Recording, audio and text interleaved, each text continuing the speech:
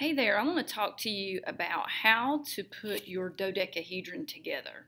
Okay, so this week we're going to be working on getting our dodecahedron put together.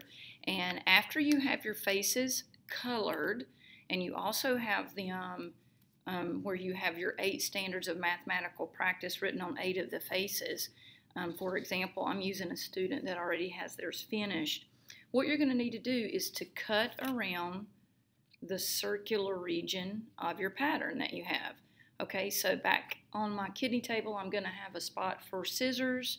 When you get the scissors and you cut them out, you then put them in the used scissor box. Okay, so you cut these out, and then of course you'll have 12 of these. And then what you'll do is you'll take the flaps and you will crease them on the line, just like this. Look at this. See how this has been creased? Folded it. And you'll do that all the way around each one of your patterns. So here's an example of just two of them that have been creased. So after you've done that with all of your faces, then what you can do is you can put those things together, okay? You'll put them together and hold them like that right there.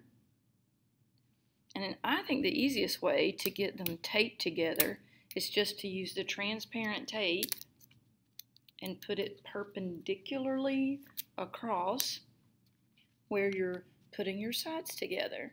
Okay, so there's my faces put together and then I could tape across it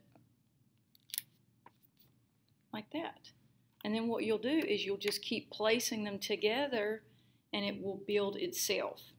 The only thing that you want to remember is you don't want to tape the last faces together until you've put some yarn down in your faces. You could even go ahead and get started with, you know, taping some yarn inside one of your flaps as you get to going.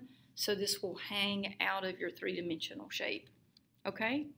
All right, I hope this helps and good luck with your dodecahedron.